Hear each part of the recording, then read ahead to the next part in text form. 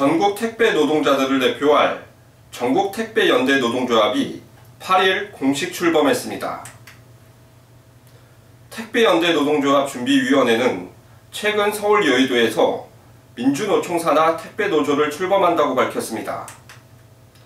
이날 준비위는 노동법 보호에 사각지대에 놓여 있던 전국의 택배 노동자들이 하나의 노동조합 깃발 아래 단결한다고 선포했습니다. 이들이 노조 결성에 나서게 된 가장 큰 이유는 택배 노동자에 대한 노예 노동 때문입니다. 이들은 장시간 야간 노동을 강요당하는 노동 조건을 개선하기 위해 노조 결성을 추진했습니다. CJ 대한통운의 부당행위도 지적됐습니다. 준비위는 CJ 대한통운이 노동조합 창립 때문에 참가하려는 노동자에게 대리점 계약을 해지하겠다고 협박을 하고 있다며 정당한 이유 없이 계약을 해지하는 건 갑질 해고라고 말했습니다. KSG 뉴스 최성원입니다.